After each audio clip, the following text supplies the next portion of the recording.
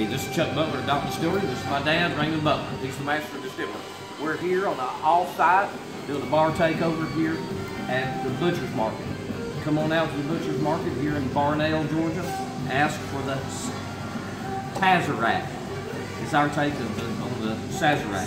We're going to try to make that for you here. Our way, come in and talk to Drew and the guys here at Butcher's Market, they'll make it even better for you. All right, so instead of, we try to do things easy, instead of using a cube with sugar, we use a bar spool full of simple syrup.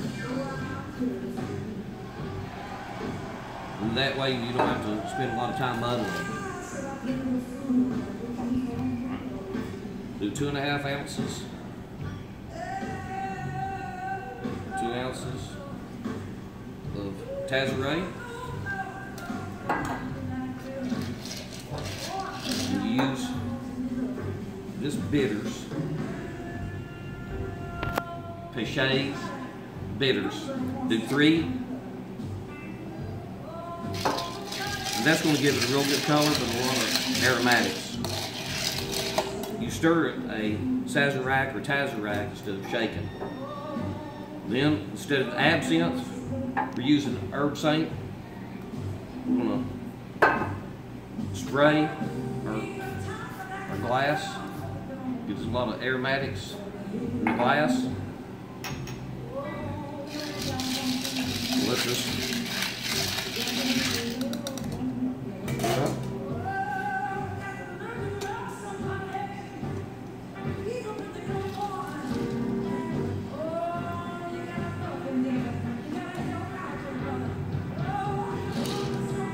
The bitters with our Tazaray Red gives a nice pink color. Get you a lemon peel. This will give it more aromatics. Squeeze that lemon, get some juice in there. Make it real classy. See if Dad approves.